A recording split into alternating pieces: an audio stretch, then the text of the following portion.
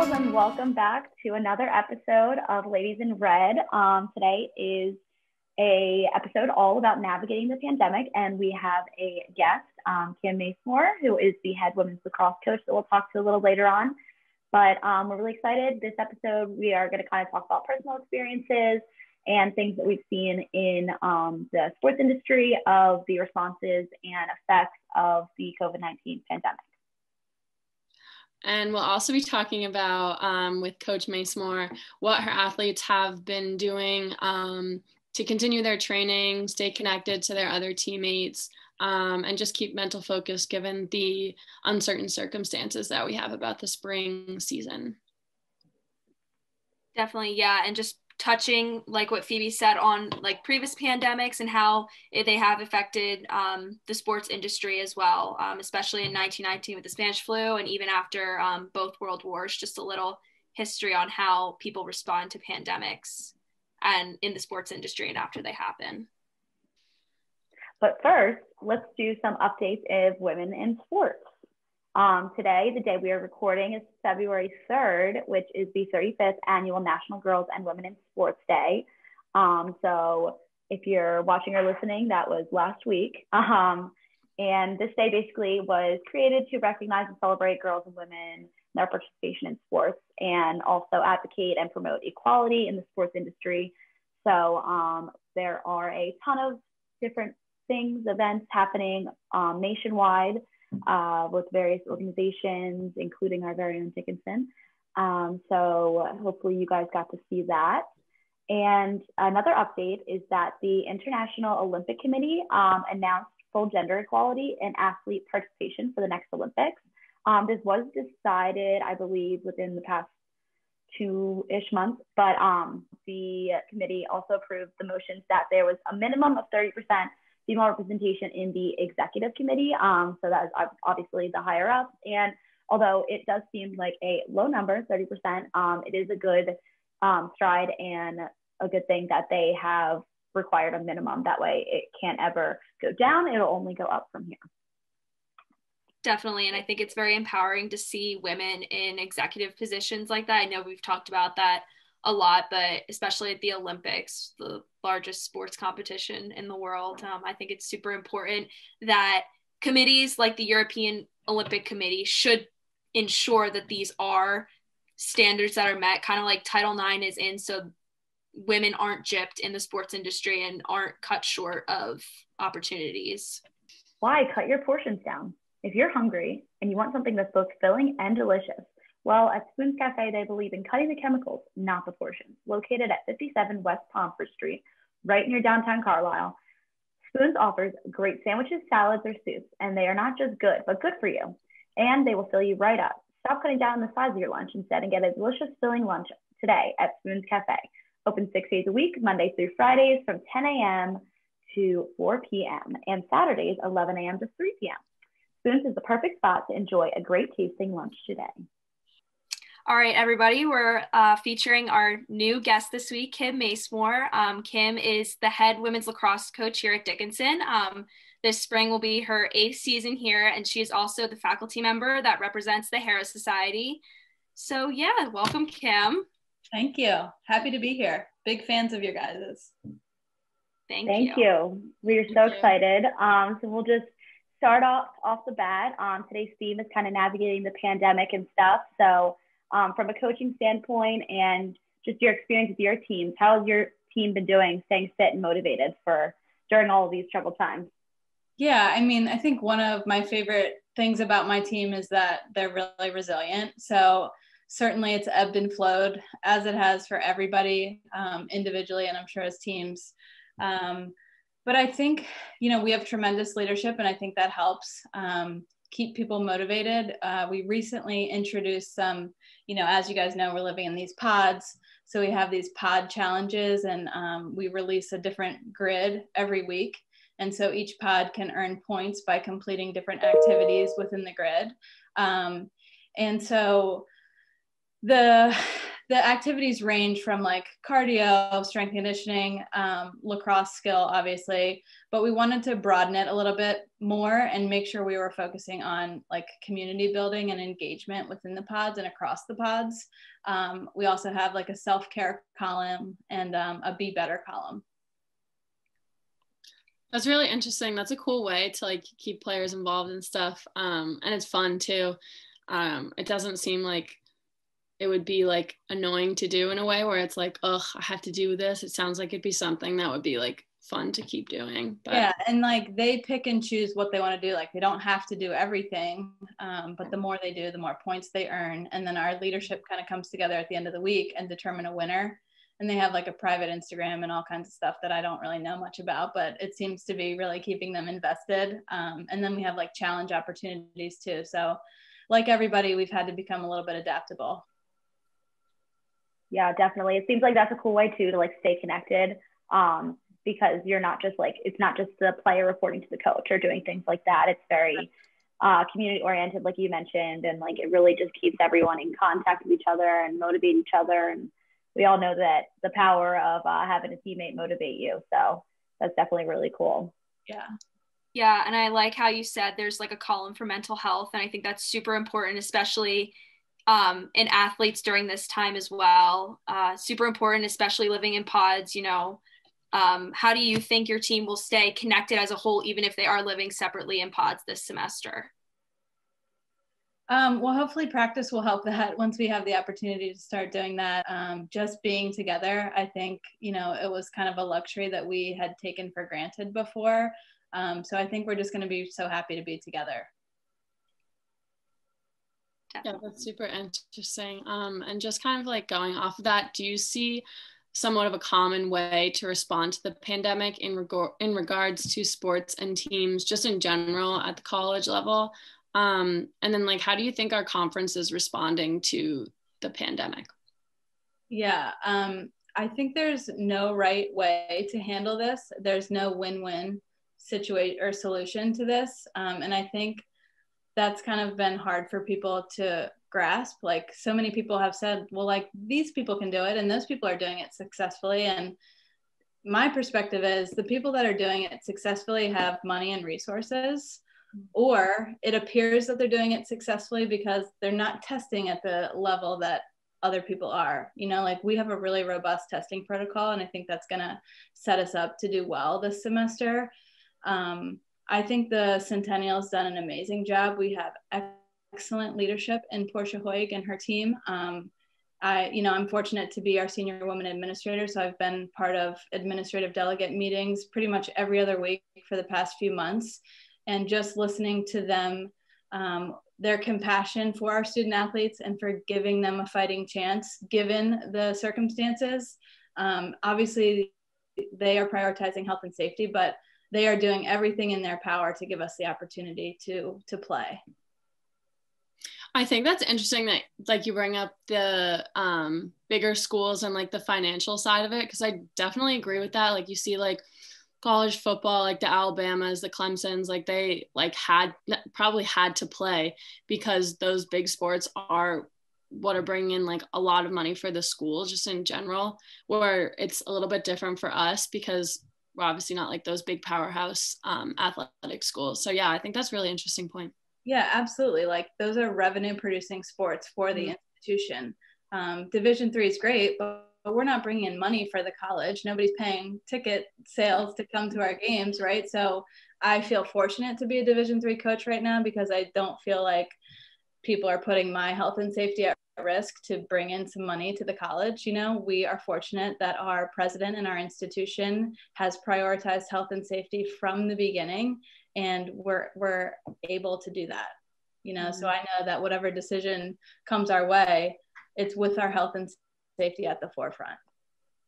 Yeah, I think it's interesting too the differences between um, like a state institution or a private institution um, just from my experience, my younger sister plays field hockey at Shippensburg, so literally our neighbors down the road. Yeah. And she was fortunate enough to be back on campus, um, and she did do some sort of playing in the fall and is going back in the spring um, in a few weeks. So I think it's interesting that like the different perspectives, like you were saying, that the Division three kind of has they have less um, pressure because of the income coming in, but then we have the privilege of having like the private institutions and then being able to make certain decisions kind of specific for our place. Whereas Shippensburg, for example, was like a state institution, so state funded or things like that. So they kind of abide by more broader rules, mm-hmm. I guess, or more things. Whereas Dickinson, I think, is really proving that they are doing a unique, like specified response to it rather than um, kind of like a broad general one. Um, not saying that either one is wrong or mm-hmm. um, there's a right way. Like you said, there's no right way to battle it, but it is interesting to look at the differences, especially between Dickinson and Ship because Ship is right down the road. Right. Um, so and that's just something I've seen from the other side of it because of my sister. So right. very interesting. Yeah. Yeah, I definitely think obviously there is a balance between prior prioritizing health and safety and playing and everything. And I think that's obviously going to be super important in the next coming months. How do you think your team will be successful this season, especially after such a heartbreaking end to it in March of 2020? Yeah, it's hard to believe that that was almost a year ago. You know, I think um, so many teams were, spring sport teams were put in a crazy situation where they didn't necessarily have closure. So I do appreciate the fact that, like, we were on spring break in Florida together, warm weather, like right on the beach, having a great time. And we knew like this could be it, you know? And so we had those moments together and we got some great closure and it was, it was amongst all the craziness, it was a really nice time to be together. Um, so I think, you know, if anything, you you all probably have experienced just new perspective and and prioritizing and you know playing like it's your last game like coaches will say that to you all the time and you're like yeah you know but like now we've all experienced it and it's not an injury that could end our season or our career. Like it was a pandemic for some people that ended their careers you know? So i think um, we're not taking it for granted. So success for me is our team handling whatever comes at us you know whether we get the opportunity to compete or not handling it with grace rolling with the punches, enjoying what we're doing together, and just being thankful for any opportunity that we get. Um, and I want to come out of this a stronger team and a more unified team. I think that's what success would be for us. Yeah, and I think it's just so yeah, important. to... Like Go ahead, Chris. Oh no, it's fine. I was just gonna say like I can connect to that from just from being in Arizona for last um spring break and like the same thing like you said like the team surrounding us just started getting calls from their athletic directors like saying you guys need to take the next flight home whatever. And i think that's when it started to click for us that like oh like this could be the end of our season and especially like for our seniors and stuff like that. And i also think that almost makes us more hungry to have a season this spring just because we missed last year already so. Yeah you missed last year and you were coming off a conference championship. Like that's crazy, mm-hmm. you know? Yeah. Yeah. Yeah. And I think the point of like not taking anything for granted is like a super, super good lesson to take out of all this, um, amongst plenty others. But um, just for me, because I was unable to have my senior season, so I missed that closer as well. Um, not knowing that my junior year was going to be the last time I was playing. Um, it's kind of crazy to think about. But now with almost everything that I do, I very much try not to take anything for granted and really focus on the little things and appreciate it and kind of um, it's really hard to find that acceptance. I can't, I'm not going to say I found that yet. Um, not being able to play a senior season, I still am very optimistic that I'll get to be on the field again um, in the spring, even if it's for a team scrimmage or something. Um, I would love to just get back out there one last time to know that, um, to kind of savor that moment of it being the last time, if that makes sense. totally. Yeah. Yeah i think it's really important uh, right now just staying hungry and especially in the off season staying hungry and staying connected. So has have there been any positives that your team has experienced during the remote semester apart or just during this time since last march?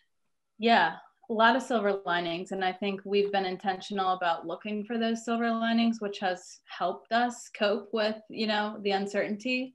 Um, you know early on in the pandemic so probably last spring while we were still in season you know we um, we developed a leadership development institute. So instead of just working with captains or like senior leaders on the team um, we completed a process um, where we we had underclassmen kind of solicit nominations to be part of this leadership development because I think you guys all know leadership means everything. You could have the most talented team in the world, but if you're not led well, you're not going to be successful, whatever success means for you, right? And so we thought it would be a good opportunity to spend a lot of time developing our leadership in the younger years so that it would benefit us in the long run. So we developed this really great committee. We met weekly, um, and through them, we reevaluated our core values. Um, and so we came up with four new core values um, balance, belonging, growth, and humility. And I think, like, the more I think about it, it's just so fitting for this time, you know? Um, so that was one really big positive that was kind of over the long haul. Um, certainly, like, them having the opportunity to not be on campus but still be together. We were fortunate that most of our our classes kind of split up and went to different locations um, for the fall semester. So our entire freshman class was in bethany beach delaware for two months. Like they don't know each other. They signed on. It was like real world. They're living together getting to know each other. Um, and like the bonding that occurred there we couldn't have replicated that had we been on campus you know? So that is huge and for our freshman class to be that connected coming into a spring season, their first um, at a college. Um, you know, we had juniors and seniors kind of doing the same thing in other locations. Um, so certainly a lot of positives. Um, and I think, you know, big picture, they've been doing some soul searching and kind of figuring out, okay, what is important to me? You know, like time isn't guaranteed. So like I'm going to spend time and energy on things that I really care about and I'm really passionate about. Um, so I think it's forced us to really evaluate how we spend our time and, and who we interact with and you know what what we do to become better people. Yeah, that is couldn't have said it better myself. I find myself also um, with this time I did a lot of soul searching and a lot of kind of um, coming to realizations. And my my New Year's resolution this year was to be more intentional with my time, to not just spend it doing aimless things to um, to be intentional with it and have a purpose behind that. So I think it's a really good thing um, that I've taken out of everything as well because as we all have experienced um, in the past year, it's been it's been tough, um, but we've been able to do that. And the leadership um, that you were talking about is very similar to what we do for field hockey. Um, and I think Sid, you can attest to this too. That I think it is really really cool way to have leadership on a team because it does also um, emphasize the longevity. Like we have leaders on our team that if they are underclassmen and they have that experience and they can bring that on. I know we've really been focusing on that, especially um, right now. Like I am a senior on, we call it the leadership council, but we are kind of handing it off to the next year. Even though we're still there, we're kind of like letting the juniors and sophomores take a little bit more lead because it's going to be their team eventually. They're going to be the big dogs um, in the next coming years. So I think it's something really cool that I've seen many teams moving towards that, and I think it's been really successful. Yeah. Yeah, definitely. I agree. And I think it's very telling when you have like a younger underclassman on leadership council or leadership development because they know so much more than what the seniors know about what's going on in the junior class and especially with all these things with pods or whatever like things might be split up and everything and i think it'll definitely make any team who does it very successful um, in mm-hmm. leadership mm-hmm. definitely yeah yeah well i think we uh, hit all of the great points that we had for you today we appreciate you for coming on um, love to hear everything that you were talking about and um, we're just going to keep staying optimistic and everything for the spring, hoping to see uh, your team out in the field. yeah. Um, yeah. Definitely. Thanks for your time, guys. Really have loved watching your show and think it's great that you are amplifying women and women at Dickinson and nationally. Um, so keep up the good work. Thank, Thank you. you. We appreciate Thank that. You. That's awesome. Thanks so Thank much. You. All right, what a great conversation that um, we just had with Coach Masimore. That was really interesting to kind of hear about what her team's doing and um, just in general, the response to the COVID 19 pandemic. So now we're just going to um, migrate right over to what ourselves and other athletes are doing to navigate the pandemic as well. Um, so, one positive thing that um, came out of the pandemic was the attention that women's sports um, got due to the lack of various competitions. So, as we all know, a lot of sports were um, put on hold or were unable to play and stuff due to the pandemic. However, during the summer, the National Women's Soccer League had their Challenge Cup, which was an 18 tournament and it took place in a bubble. So they were all quarantined and um, following regulations and guidelines and such to be safe.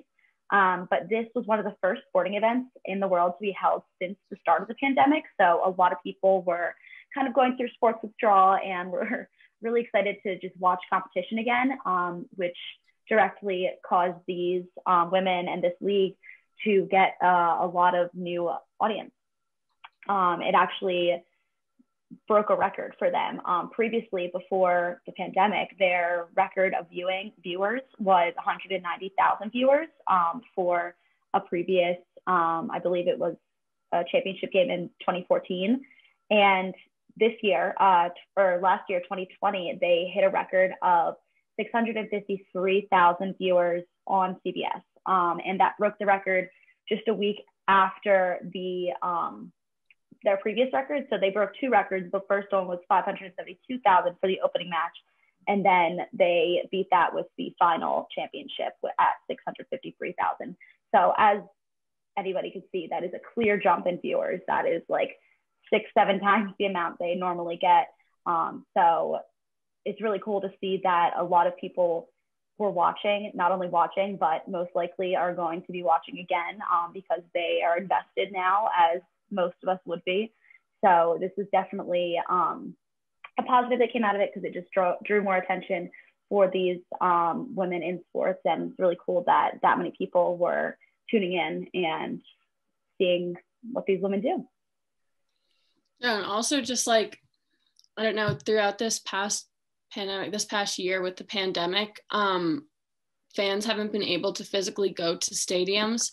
So they've had to find ways to like live in this sports world without going to games and some people like invest so much time and money with like season tickets like stuff like that and they weren't able to do so this past year so i think a lot of like fans had to find ways to navigate the sports world and be able to watch it and still support their favorite teams and athletes um, for a long period of time. Um, and obviously, this was a successful way to do so because the viewership on like television channels and stuff like that improved and increased greatly. So, yeah, I think um, one big thing that sports does is just even without a pandemic, it just builds a sense of community and a sense of belonging, especially in America. Professional sports are just very prominent, and the sport that you're a fan of, you feel like you belong to that city or that team. And I think during a pandemic like this, it's really awesome to see silver linings, like we were talking with Coach Masimore, silver linings such as women's teams being more recognized and more viewers being viewed. Like Phoebe said, those things will stick along and people will become more invested in women's sports and competitions as well yeah, exactly. And as we all know, um, being familiar with sports and like Kristen said, it brings a sense of community. So being able to, for example, with these women um, in the national soccer team, they were finally able to, everyone was all tuning into one game, watching something. Um, and then when sports were able to come back um, in recent months due to following guidelines and bubbles and stuff, it really, you could tell that everybody was really excited about it. And it almost brought back, and like we talked about earlier too, like taking things for granted, like from now on, everybody's nobody's going to take it for granted getting to go to a game, getting to even watch a game because we went through a period of time where we were unable to do those things. So um, a lot of times it takes that um, inability to then bring out that it's something really special. Yeah, definitely. And like this past season has definitely been like like with you phoebe like your last season your senior season was cut short um and so like not a lot of people move on to play professional sports as well so it's just affecting that much broader of um, athletes too around the world um, so yeah i think it's interesting to like find new ways to support teams and kind of like stay involved um, in your sport even after college stuff like that yeah definitely um, I think it's really telling that um, the world really depends a lot on sports for a lot of different aspects of life. Um, obviously, us growing up in sports, we kind of all knew that um, with our respective sports and experience. But as the general public, also watching professional sports and college sports and various things, that it is just such a big pillar of um, definitely our nation um, in America, but also in the world. And mm-hmm. um, yeah. Yeah, definitely. Just, and go ahead. I was gonna move on to the next topic. Should I just do that? Like from yeah, okay. yeah. I didn't know how to. I didn't know how to segue. I was. Yeah. I'm just gonna be like, okay. Yeah. Okay.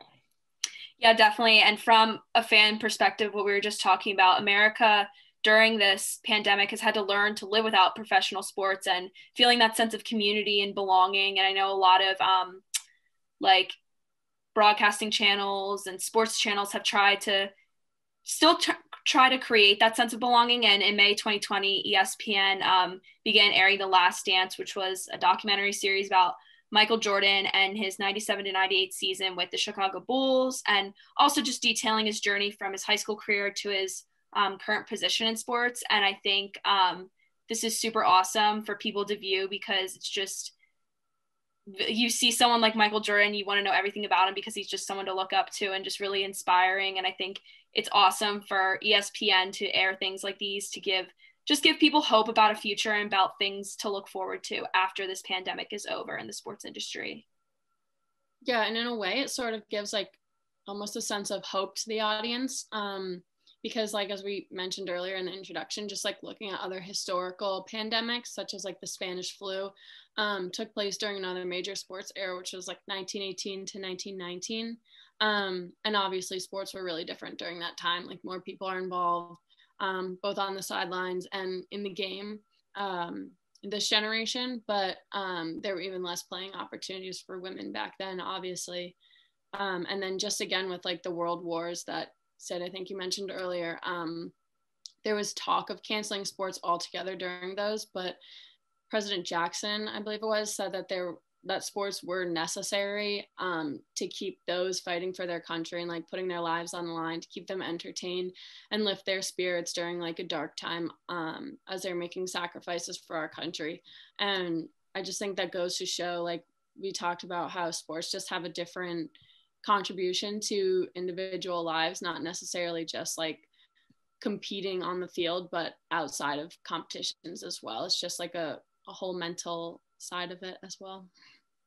Yeah. And if anything, that also just proves the point of the sense of community and the sense of just like the joy that people get from watching sports. Like, um, I know that I know plenty of people that were watching, they, I know ESPN was playing um, just like old games and stuff during the pandemic because there wasn't really any new games happening, but people were still tuning in because they were watching their favorite game or their favorite play um, of the game and stuff like that. That sports really do add um, that sense of kind of I guess happiness. Um, a lot of people just very much enjoy it. Um, and like Kristen said, you don't have to be playing the sport to like it. There's so many different aspects of the sports industry. Um, and majority obviously actually is like people watching it. So it's these documentaries like The Last Dance and various things um, kind of were giving people their sports fix, I feel like, and hopefully brightening spirits when they were down um, in these tough times because as we all know, it was quite rough. And um, it was something cool. I remember when it came out, um, it was really, really cool because not many people have known like the story in detail about uh, Michael Jordan and stuff like that. And who doesn't want to learn more about someone who is super successful, super talented, something like that. So I'm a big fan of documentaries. Uh, so I definitely enjoyed it. Yeah, I think during this pandemic too, it's obviously in the beginning, it was even more scary because everything was so unknown and you just wanted to know more about. it. And I think celebrities can use their platform to instill hope and peace a little bit and be kind of relatable. And I know um, Boston was the epicenter for the Spanish flu outbreak. And I think I remember Babe Ruth, who at the time was a member of the Red Sox, got the Spanish flu. And we've seen in recent times too, a lot of athletes coming out like saying they have COVID 19 and just kind of making it just kind of making it such a less scary time and trying to instill I don't know the word, like okayness in society and using their sports platforms as a way for people to connect to them um, rather than people continuing to be super scared about the pandemic too. Absolutely. I think it's giving a sense of um, normalcy or a sense of um, I'm trying to find the right words as well, but um, it is very similar. Like we saw celebrities and um, athletes in our pandemic, similar to Babe Ruth in that pandemic, that have kind of announced it and has said that they were following all the safety precautions. That's how scary this virus is. That like it honestly is so contagious and like you can get it literally anywhere. Um, so, and then on the flip side of that, the athletes are promoting safe safety and things you should do and stuff like that. Like they're all wearing their masks. We see photos of them. We see videos. We see them when they're at their games and they're on the sidelines. They're wearing the mask. They're following whatever guideline is in place. Um, so I think it kind of just definitely is something that we've seen in history and now we're seeing again. Um, just how sports have brought people some peace and sports are something people look to to kind of feel connected again, feel better again. Yeah, and I think just like kind of going off the normalcy aspect of it, um, I think I agree that like the athletes coming out and saying that they have COVID and stuff almost makes it like you guys said less scary. Um, and also during the pandemic, there were like commercials from what like I think Nike had one um, where they would say like it's okay, like we're we'll get through this together, like we'll be back on the field in no time, kind of just giving that sense of hope um, to again fans and athletes. Yeah, and yeah, we've seen a lot too. Just obviously in the very beginning of COVID, everything was shut down, quarantine, and still people are still reluctant to go to training centers and gyms um, just to protect themselves, their teammates, and their coaches. And I think, I mean, I know personally, like it's been hard for me to train and get the motivation because we have been remote and at home and um, away from your teammates. And I think it's hard. But I think one way of being successful in training at home is just like knowing you're not alone and knowing that you have a ton of other athletes and teammates who are doing the exact same thing as you and are working just as hard. And it's almost like you're competing with yourself um, during this pandemic without going to like the gym but finding other ways to stay keep training and stay in shape and get ready for what's coming next which i know my coach always says like there will be a day when we step back on the field and we're able to play. Like that day is coming. You just have to like there is a light at the end of the tunnel and you just have to keep looking for it and keep pushing through it. And i think it obviously has been like a huge mental game as well but i think it's super important. I think a lot of people will come out of this so much mentally stronger. And like we were talking about with kim just so much more grateful to step on the field every day even if it is for like a 7 a.m practice. Like i know for me i'm gonna like before i would always complain about having to wake up early in the morning but now just being able to step on the field and play like you know it, it could be like the last day that you play. So I think it's super important. I think that's one of the silver linings of this pandemic. Yeah. I mean, I personally have not been to, I've not stepped foot in a gym in over a year, probably because of the pandemic. I just haven't felt comfortable going to my local gym um, or anything. And I've, like you said, spent a lot of time training on my own, um, whether that be running or lifting in my garage or doing um, a Peloton spin class in my garage as well. Um, it definitely was hard at times to stay motivated and everything, but then you saw people that you know. I know my teammates were really supportive, and also people in the media and sports in general, um, the sports industry of everyone was doing it. It was a sense of yes, it, you feel like you're alone, but at the same time, everybody's doing it because we're all in this together because it literally is affecting every single person. Um, and I know I saw a um, interview on the news um, with Simone Biles, I believe it was, and she was talking about how she was still training for the Olympics, but literally like in her household. Like so like her trainer was giving her like at home workouts per se during like the thick of it um when she wasn't able to leave the house and she was on lockdown. So I remember for me seeing that, I was like, oh my gosh, this Olympian's literally doing these mm-hmm. exercises in her living room. Like that's what I'm doing. And that was something cool that like I could relate to that. And it showed that people that are at the highest level are dealing with the same things that I am as well. And I'm sure you girls were doing as well. Yeah. And just like going off of that, I'm sure like obviously you guys can relate to it with like a spring, your spring season, but um, my mom has been talking to me a lot about this and she's like, oh, well, you better make sure you're back in, you're in shape in case you go back to campus and you have like a season or whatever.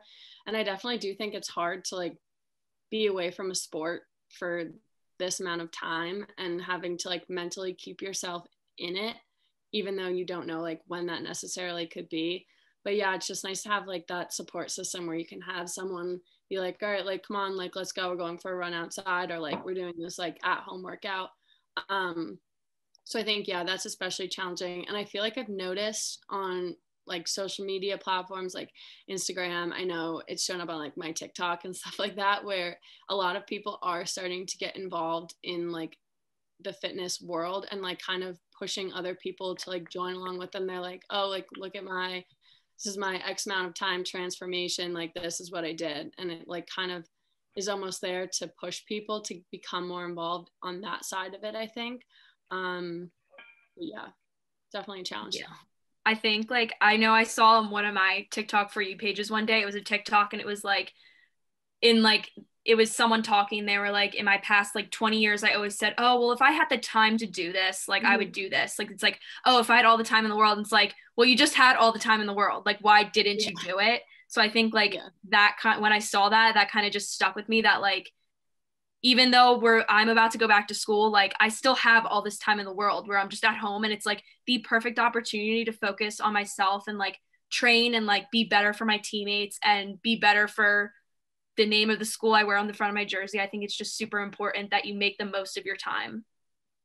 Yeah, and that's like very similar to how I was talking about my New Year's resolution, like being intentional with time. And that's what I found throughout the pandemic that when we were in lockdown, like you said, we had all the time in the world. And I think we're seeing that um, a lot through social media, of people that utilize that time and for the better. Um, I know I worked on myself mentally and physically. I worked more on like running, um, working on my long distance and stuff like that coming out of an injury. So um, I definitely think that I possibly could have used my time a little bit better. Um, but I definitely tried to utilize that and did a lot of at home workouts. Um, YouTube was super helpful, definitely for me. Um, but it is something that I've seen all throughout the social media um, is people doing whether it's the at home workouts. I think I saw one, it was kind of funny. It was like using only home items because they legitimately like didn't have which not everyone has like weights and bands like i we're lucky if we have that um i'm lucky that my dad is like really into fitness so he has a lot of stuff but